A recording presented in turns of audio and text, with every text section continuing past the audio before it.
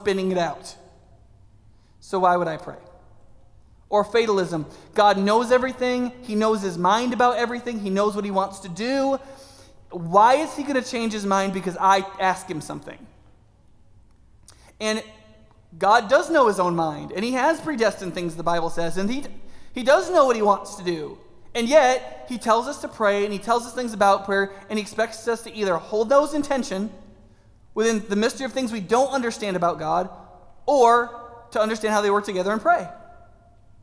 But if we don't figure out how those go together, a sense of fatalism will come in, and we'll feel like if we pray, it wouldn't matter anyway. Or pride. I think this is really the main one for most American Christians that I'm doing fine. Why do I need to pray? We're, we're doing pretty well on our own. And then the last one, which I think hides in places, but is actually true for a lot of us, is essentially that we, we the reason we don't pray more is that we only pray out of moralism to begin with. That is, God in the Bible tells us to pray in a few places. Therefore, to obey God, we have to pray sometimes. So we'll pray enough that we're fulfilling the commandment. But what we really know is that God will act on our behalf when we obey Him. That's what we really believe. When we obey God, when we do the stuff He wants us to do, He'll bless us. He'll give us the stuff that we want. So it's not really prayer that unleashes into our lives the things that we really feel like we need, but it's actually obeying God. And so I'll pray enough to obey God, and then I'm going to go out and be a good legalist and a moralist, doing everything I'm supposed to do, and then being angry at why God doesn't bless me more. And essentially, it is missing the entire notion of what prayer is because prayer is based on the concept of grace and divine generosity. That is, God likes to freely give to people who don't deserve things when they just ask him. In fact, of all the five up here there, the last might be the worst. If four and one weren't so bad, and two and three. When any of those things creep in, we can say that we're a Christian. We can be a Christian. We can believe that we should pray. We can believe prayer is important, and we won't pray. And I believe that for a lot of us individually and for a lot of us in particular, I'm uh, sorry, and then all of us generally, that we've got issues with some of these things. And it leads us away from the stark statement in this passage where Paul goes, devote yourself to prayer. He goes through the whole epistle. He spends three chapters on the gospel and the beauty of Christ and what Christ has done and how that makes a new humanity and a new person and a new creation and how we can be heavenly minded and all this amazing stuff. And then he does a short section on what the family ought to look like, the, the household code, the basic social interacting of, of, of Christian human beings, right? And then he tells, he, he's got two pieces of advice, right? He's got one shot at these people, right? He's got a very short letter. He's only got two pieces of advice besides believe the gospel, right? Well, what are they, right? They're devote yourself to prayer, right? And the, what's the other one? Be wise in the way you treat outsiders, people who aren't Christians. You've got to be wise about that. They don't understand what you're like. They don't understand why you do the things you do. They don't understand why you believe the stuff that you believe. They don't, they don't understand that, and you can really turn them off and really hurt them and then hurt yourself and hurt the name of Jesus by doing that. You've got to be wise. That's next week. This week I want to focus on devoting yourself to prayer. Now, there's, there's essentially three things that he focuses on in terms of how to devote ourselves to prayer. And the first is that we're supposed to do it in watchfulness and thankfulness. In watchfulness and thankfulness. You can shape, in a lot of ways, your entire prayer life around those words be devoted to prayer, in watchfulness, and thankfulness. Thankfulness is essentially having the right attitude toward God you're prone to be arrogant and entitled.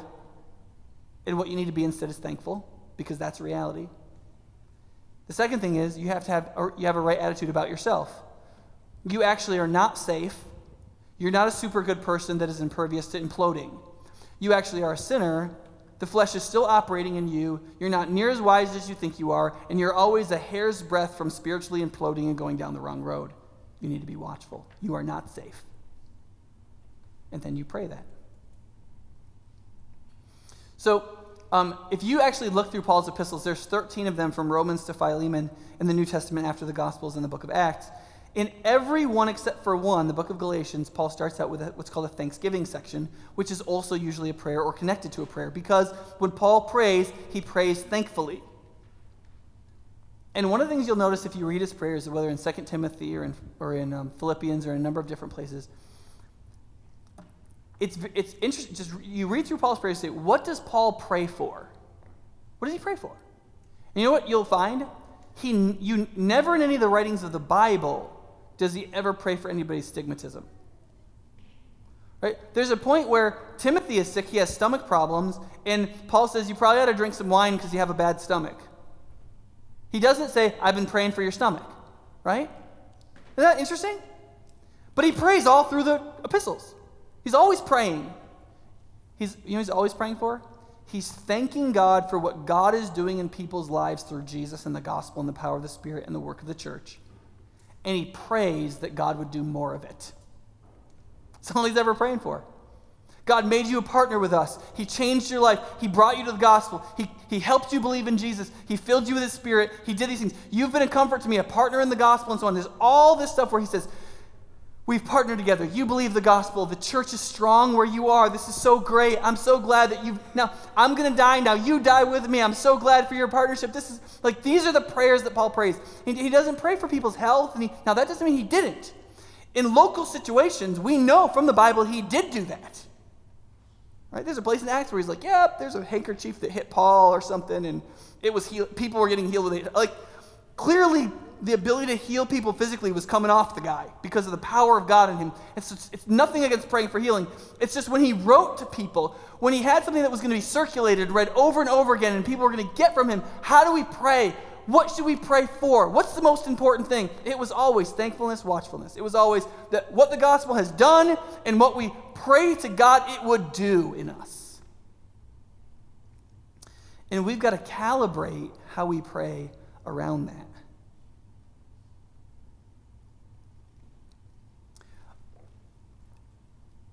It is a fact that having a thankful disposition and having a discipline in your life of being thankful rather than complaining unleashes an enormous amount of happiness.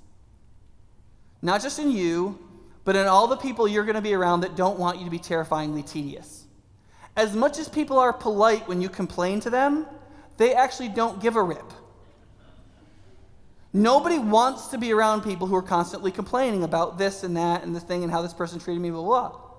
They want to be around people who have the power to forgive, who have the courage to live their life, who see their cup as half full, who know God has blessed them and gifted them and helped them, and that there's a lot of good things happening in their life, even if there's some terrible things happening in their life. You just need to know that when you complain to me about little things, and I was just at somebody's house that week who's on hospice and dying of cancer and who is thanking God and praising Him for all of His graces to them in their life, and then you come and complain to me about your children, I want to help you do better with your children. But you've got to realize that I was just saw something else. Thankfulness unleashes happiness on a level that most people will not accept. But here's the thing that's not the best thing about thankfulness. That's not the most important thing about thankfulness. Thankfulness orients you rightly toward God and unleashes godliness. That's the most important thing about thankfulness. That's why thankfulness is so worthwhile. Not so you can be happy and you can have more endorphins or something. It's so that you can be more like Jesus. And Jesus is the happiest being there is. We should devote ourselves to prayer. In prayer, we should be devoting ourselves to being thankful, partly because it makes us happy, but mostly because it produces godliness. And godliness leads to blessing and happiness. But it's, it's worthwhile chasing even if it makes you miserable, because it's good intrinsically. And we should, there are some things we have to learn to love. One of the things, Paul, um, Paul Lloyd, preached on this passage a few weeks ago in chapter 3. You can tell him I said that. Um, one of the things that people sometimes don't pick up in this is this is where Paul is saying, this is how you should live together as the church. This is what you should do. This is when you get together, do this stuff. It was kind of like the in the church passage in Colossians. And notice in each case, he talks about thankfulness, but it's always, it's not, okay, and then say some thankful things. It's, it's always stuck in there. Like as you do this, have thankfulness be the air it all breathes. J.I. Packer one time said, was asked, Why in the book Knowing God is there not a, a, section on prayer? And he said, Here's why. Because the minute you make prayer its own thing, you demote it. Prayer is supposed to be in everything. It's like having a meal. You've got your, you know, your meat, and you've got your potatoes, and you've got your, your grilled zucchini and stuff, and then you've got your salt. Right? He's like, That's not how it works, right? You've got salt in everything. Prayer is like that. You can't be like, oh, we've got prayer over here. That's one of the reasons why Wednesday night prayer meetings almost never work. They're great. We should have them. I'm not saying we should cancel it. We should all go more. But it's one of the reasons why prayer meetings are usually disasters in terms of attendance. This church used to have a really big prayer meeting back in the day. There was also a sermon at it and worship music. It was like a church service in the middle of the week where there was prayer. Because what, and what, one of the things we've tried to do more recently is pray in your small groups substantively. We train the small group leaders how to do prayer in small groups. We put the pastoral prayer back in Sunday morning so that we all pray together when we're here. And I'm going to say some other things about how you inculcate prayer into. You have a Packer party. There's prayer at the Packer party. There's prayer in everything. More people clearly should have prayed last night at their Badger party. right? As you right, let the peace of Christ rule in your hearts, since as members of one body you are called to peace. That's where you should be inside, right?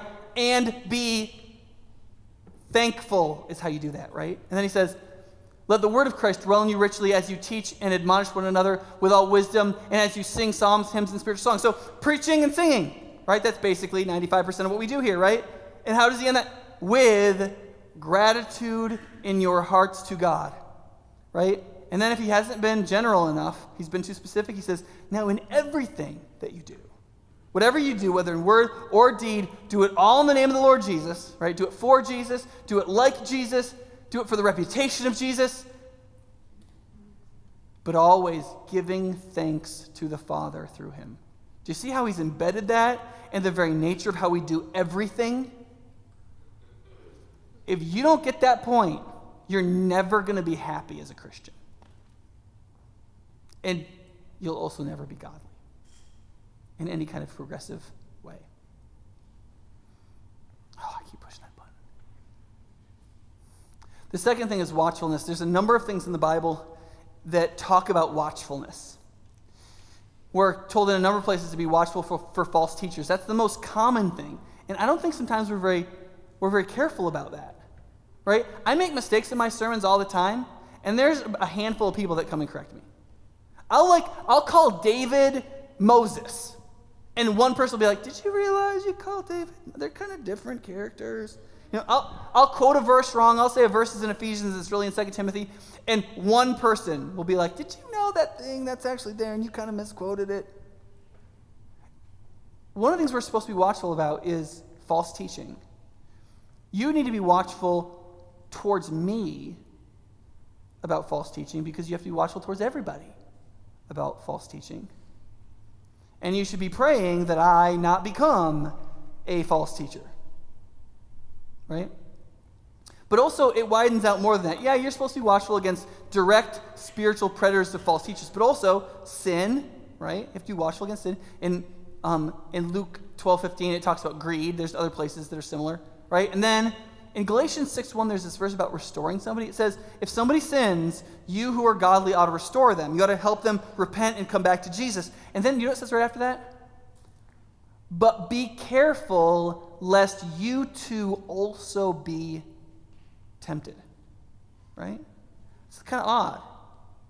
But there's something about getting into somebody else's mess that they just fell into and trying to help them out of it which can produce a little bit of a nurse syndrome, like falling in love with the patient who may not really be wanting to get out of their sin and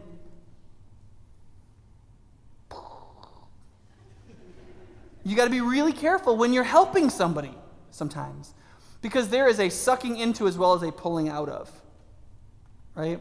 And then also it says in case it was too specific in 1 Timothy chapter 4, Paul says to Timothy says, "Watch, be watchful over your life and your doctrine. That's kind of everything, right? Which can sound a little unnerving that you're supposed to be watchful over everything, right? And as you move on, there's a, a, verse later where it talks about Epaphras praying for them because you're supposed to actually help, be helpfully watchful towards other people. Right? You're supposed to help me be watchful over me, and I'm supposed to help you be watchful over you, as if watching over my own life and doctrine, my own failure and sin, my own temptations when I try to help other people, right? And the false teachers that I'm that I'm supposed to be watchful over all that. That's serious business. The, the good news in that is, is that what's this all in context to? Prayer, right? On one level, it's the point here isn't just you need to see everything that's coming after you. You need to be perfectly watchful in your own life. Part of the understanding here is you need to realize all this stuff, and so you need to pray. Here's what it says in Psalm 121 1 and following I lift up my hills to the Lord, and where does my help come from? My help comes from the Lord, the maker of heaven and earth. He will not let your foot slip. He who watches over you will not slumber. Indeed, he who watches over Israel will neither slumber nor sleep. The Lord watches over you. The Lord is your shade at your, the shade at your right hand. The sun will not harm you by day, nor the moon by night. The Lord will keep you from all harm. He will watch over your life. The Lord will watch over your coming and your going, both now and forevermore. Now, that was a psalm of ascent. It's wisdom literature. It's not meant to be an absolute promise that nothing bad can happen to you. What what it means to teach is that all of your hope of being watched over and taken care of comes from God. And the minute you recognize your spiritual need to be watchful and you re- realize its relationship to God, you'll realize two things. One is, like Jesus, you need to be watchful. And as you pray that God would make you aware to be watchful, you'll become a better watchman over your own soul and over the other people in your life, helpfully rather than self righteously. But in addition to that, you are praying to the actual real God who is there to be watchful over you. You are asking God to deliver on the promise that He's made to be watchful over His own sheep. He says that He is the shepherd over the sheep. What do shepherds do? They watch over the sheep. Jesus does that. He actually called himself the Good Shepherd. And he says, I don't lose sheep. But there, one of the things I think that we need to recognize culturally is that we actually are really bad at this watchfulness thing. So it's getting to be close to October, which is going to start, well, I'm sorry, getting a little ahead of myself. September, in which it will start the hunting season for those who fling arrows rather than just fling bullets. And one of the things that those of us who are hunters get in our inboxes as this progresses is the, the eye, look at the animal I killed picture. You know what I'm talking about? Like the, the kid, the woman, the guy sitting behind an animal, holding its antlers up usually, pushing them out as far as possible so that they look bigger, right? And hopefully they've put the tongue back in the mouth at least before they took the picture, right? And you just, you, you get just piles of these things, right? If you're, if you're a hunter at least. And um, as I was, as I've been gone through some of these, I found this one on the internet recently. And my first reaction was like, who is going to tell this guy what just happened? So I'm like, um,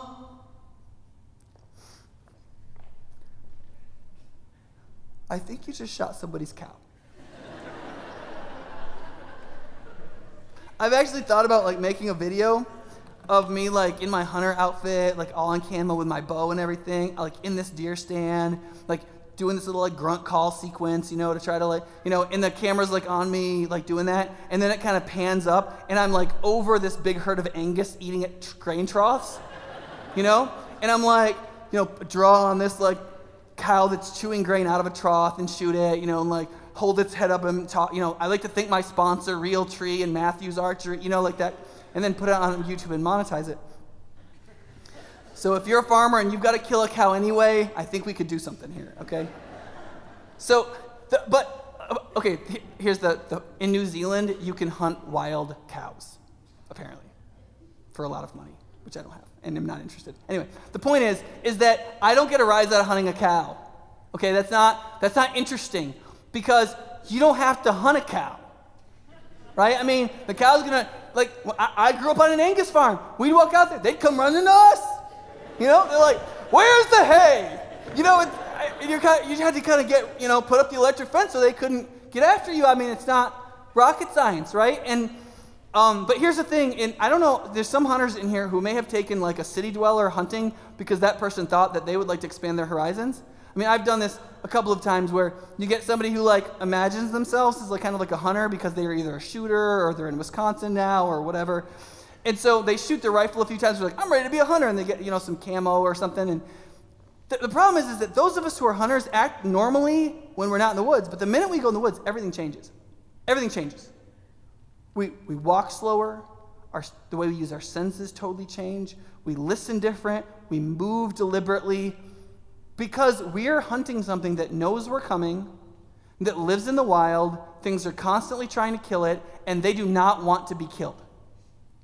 Okay? The city guy is like, hey, where's the stand? Are we going to do, like, and it's like rustling leaves and knocking things over, wearing cologne, you know, and you're like, are you, are you kidding me? Like, what, what is wrong with you? And it's, it's just simply this they've never been a hunter, and they apparently think they're hunting something that's never been hunted. They have no sense of how watchfulness works and how predation works. Just don't understand it. And here's the thing most modern Americans, because we have not been the subject of predation as people in our physical needs, we have essentially become domesticated. We feel safe. We're not terrified something's about to eat us because, generally speaking, it's not. Like, we have a hard time connecting with, like, and there was a prophet walking down the road in the Bible and a lion came out and bit his head off. You're like, what is lions? What, where was he? You know? Is he Casbar?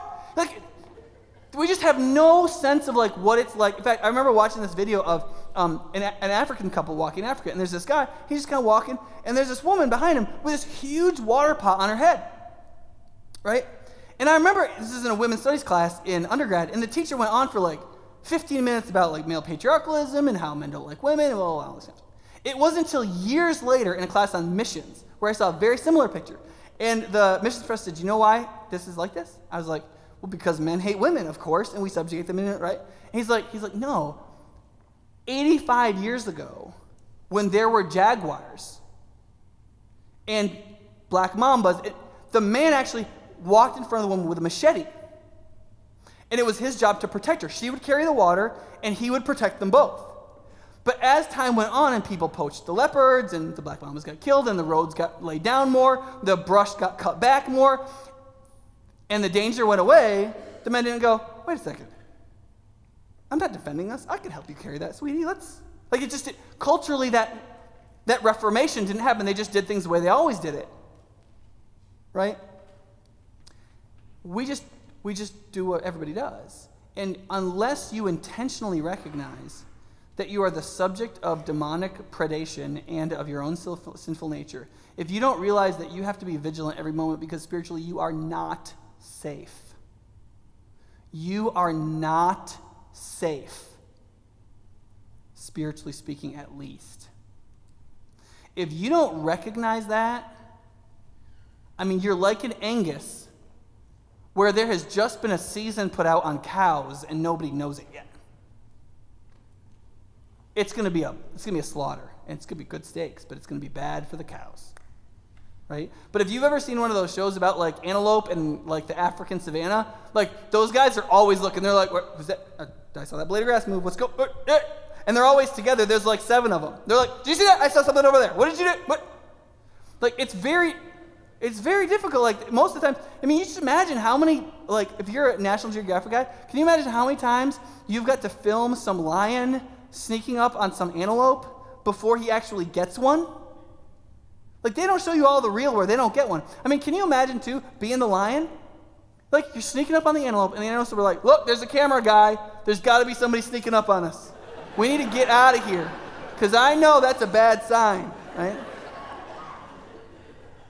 Sorry, that was just a joke. It had no spiritual anything. But listen, when you start praying watchfully, when you start asking God to be your watchman, when you start asking Him to help you be properly watchful, it will begin to attune your senses to being watchful. You'll be paying attention to, and God will actually lead you through His Holy Spirit and give you intuitions and insight and lead people in your life to talk to you about the things you're most in danger about. And as you read scripture, it'll jump out at you because you'll be looking for things to be watchful about. and if that becomes a big part of how you pray, it will change the way you see your spiritual life. And it will lead you to be the kind of gazelle that makes it to the end of the broadcast. If that makes sense. I'll tap that right now. The last one is I'm sorry, this is just the second one. Um, second one is for open doors, right? It says to pray for what? To pray for open doors. Now, the interesting thing here is if you ask the question, like, well, what, why does Paul pray that? Like, that's kind of a Christian cliche, right? Pray for an open door. I need a job. Can you pray for an open door? We're doing this. Can you pray for an open door? Well, here's the reason why it's a Christian cliche. One, it's clearly in the Bible. Two, it's very descriptive. Like that's very clear what that means. A closed door, you can't get through. An open door, you can. Right? Receptivity is an intangible we can't make happen. And so the idea of there being an open door, it's not something I can control, but if it's open, I can go through, and if it's closed, I can't, is very descriptive. Right? But one of the things I think is really interesting about this verse is what door Paul doesn't talk about. That is, do you notice he's in jail and he does not talk about his cell door. He doesn't say, Would you please pray to the Lord that he would let me out of jail? That he would open the cell door and set me free because I'm supposed to be free in Christ. He doesn't say that. He says, I'm in chains for the gospel, but would you please pray that I would have an open door opportunity so that I could preach about the mystery of Christ? Now, that is an attuning of focus that we don't really generally have, right? We tend to be focused on what we consider the big picture of our life, like what's going on, what's hurting us, what we don't like, how our life isn't going the way we plan, and so on. And that is not the way Paul saw the world.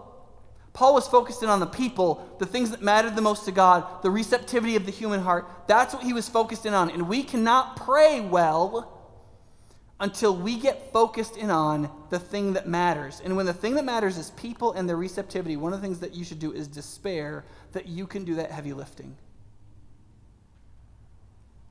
God promises in the Bible that He will do the heavy lifting of His own ministry. He said, I will build my church, and the gates of hell will not stand against it. Right? And so, if you, th- and if you think human receptivity to the gospel is simple, you may not pray for it. You might just try to be cool, right?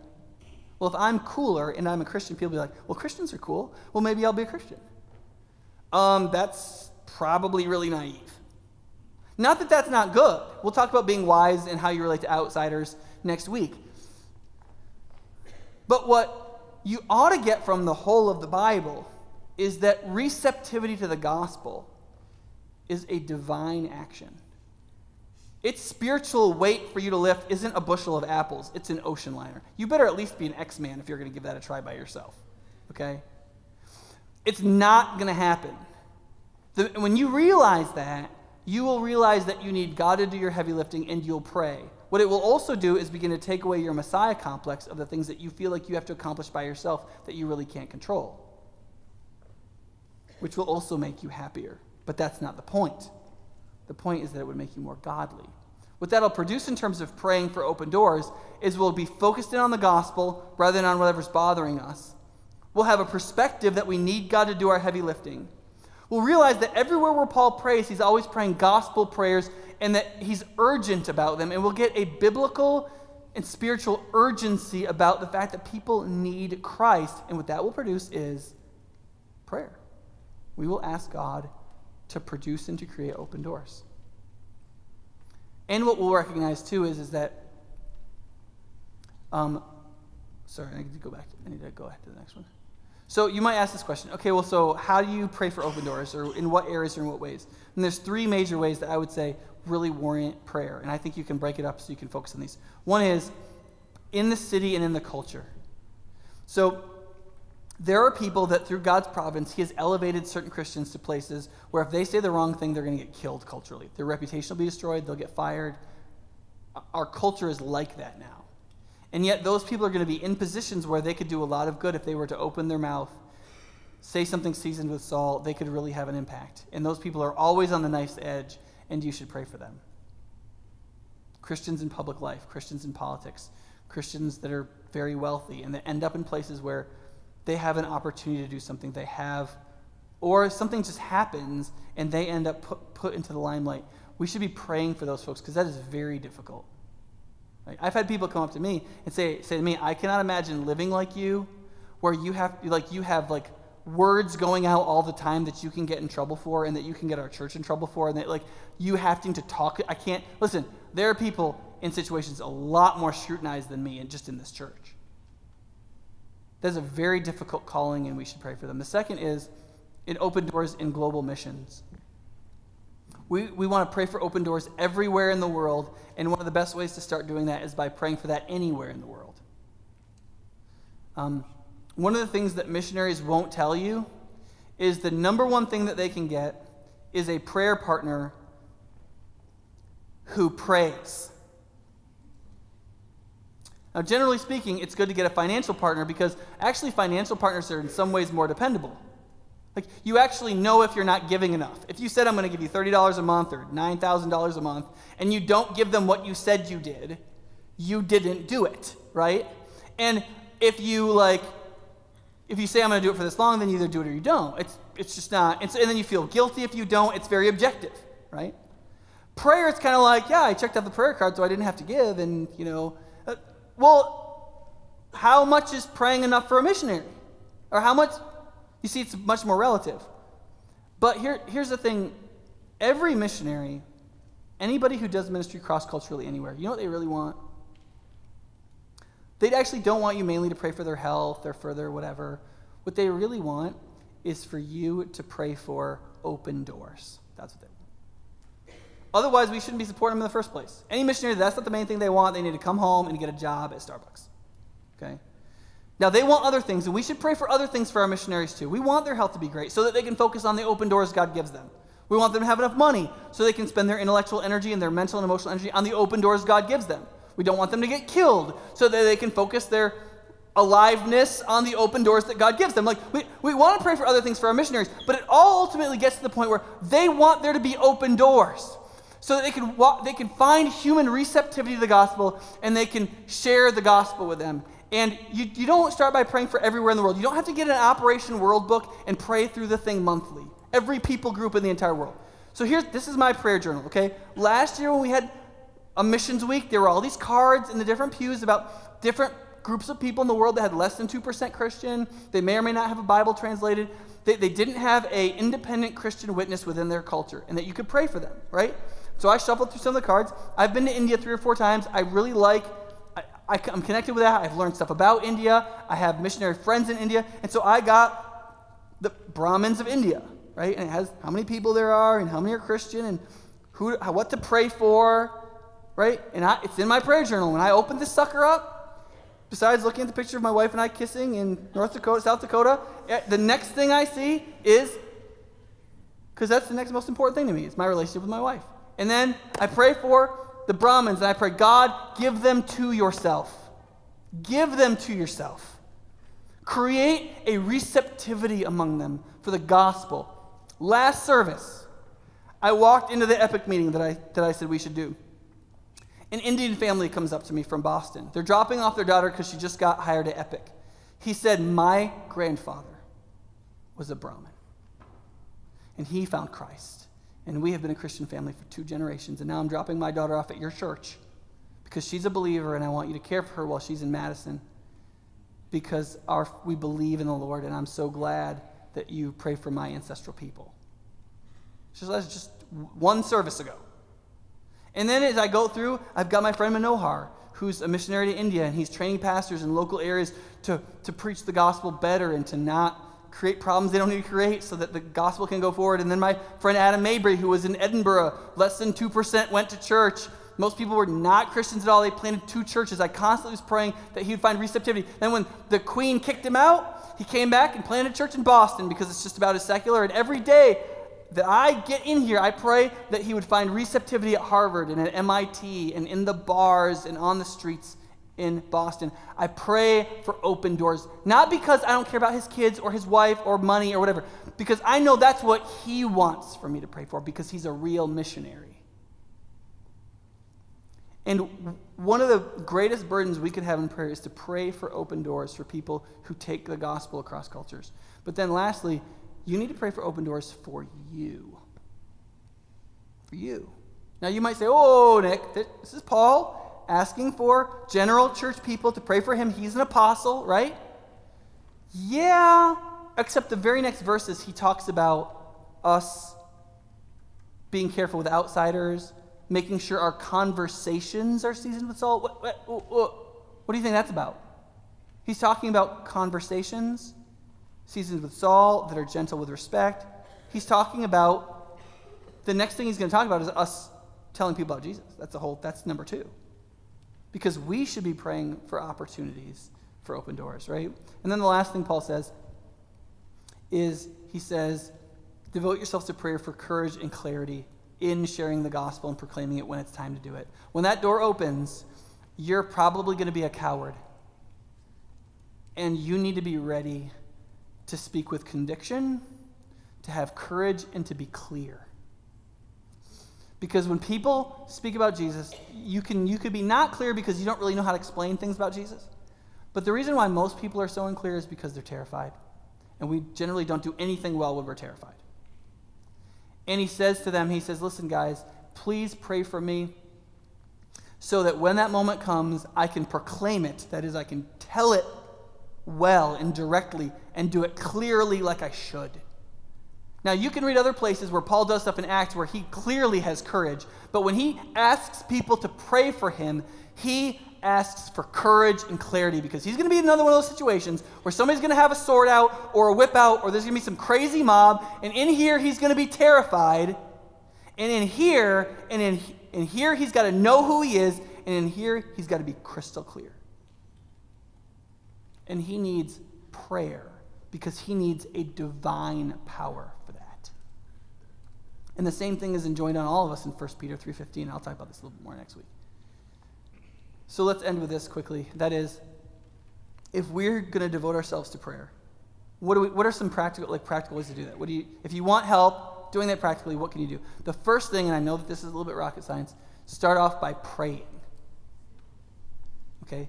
If you, if you, that's just a crazy idea to you, the first prayer you probably need to pray is the one where you accept Jesus as Lord and King and God. Okay? Because you have to start a relationship that you can. Prayer is an inter, inter, interactive, relational kind of thing. You've got to have a relationship with God to do that. You have that by trusting in God's provision of Jesus to recreate that relationship and change you from the inside and give you His Spirit and all of that. If you don't know how to do that, there's going to be some people right there at the end of the service who would love to help you. And then you just go from there. You just talk to God.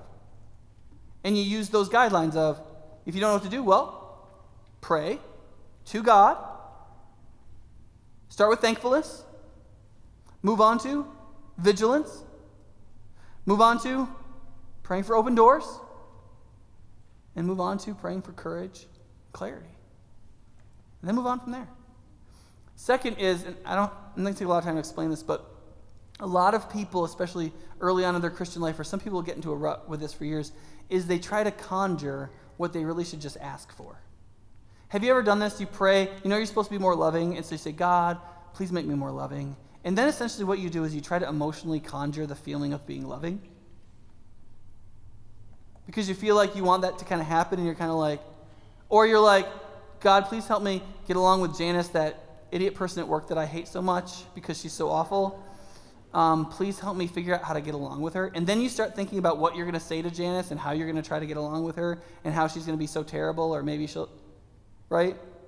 They're, those are distractions. And you're not a sorcerer, right? When you came to Jesus, you didn't become a wizard, all right? So that you can conjure up feelings of love. You're not loving. God has to make you loving. Therefore, you have to understand the gospel more deeply so that when you see Jesus as he is, it will create love in you God is going to send you out and give you opportunities in which you're going to have to figure out how to be loving so that you can become a more loving person. Like, God is going to work this out. But what you're not doing is conjuring love. You're asking the divine God who is there to act such that you could become more loving. Don't mistake those two, they're very different. Third, let's all constantly, the first thing we say when we talk to anybody in this church who says anything worth praying for, which is most things, just the next words out of your mouth are going to be, let's pray about that right now. Let's pray about that right now. Don't say, I'll pray for you. Just quit saying that. You can only say that if the word right before it was amen. If somebody says, share something that hurt, it's a hurt, something going on, anything. My leg hurts. I'm afraid I'm not a Christian. My parents are getting divorced. I think I'm getting divorced. I think somebody wants to kill me at work. Whatever it is, it's, you say, can we pray about that right now? Then you pray, and then you can say, I'm going to be praying for you about that. Meaning, when I walk away, well, I'm going to keep praying for you, but we just prayed right now. Let's just make that, that's the line, boom, and then you pray. And then you use exactly what Paul said here thankfulness, watchfulness, praying for open doors, courage and clarity. You use that to sculpt your prayer life around, you'll do pretty well. You'll do pretty well. Thankfulness will change your perspective about, about God. Watchfulness will change your perspective about you. You'll realize how great Christ is and how much you need him. You'll cry out to God for his spirit to do something in you. You'll be praying for the right stuff. And that will really begin to change the way your heart is motivationally devoted to prayer. Because we'll shed the atheism and the deism and the fatalism and the moralism and the pride. Because you need to remember all of this is wrapped up in Jesus. God gave you Christ when you deserved nothing. So believe the same thing about prayer.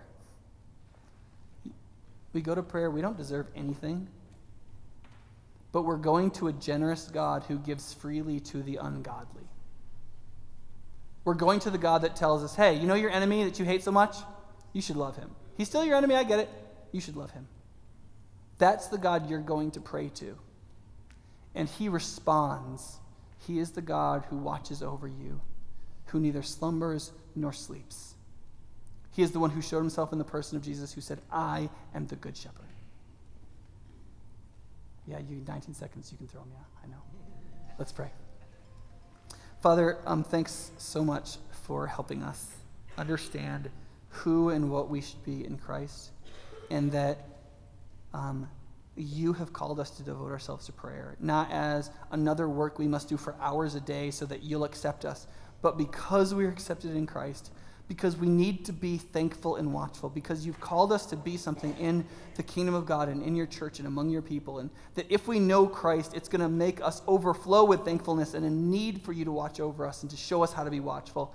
That, that will drive us to want to speak to the one who is there, who has called us to do so tear out the atheism and the deism and the fatalism and the moralism and the, and the pride that's in us that kills our desire to talk to you. And help us to become individuals and a people that are devoted to prayer. Pray in Jesus' name.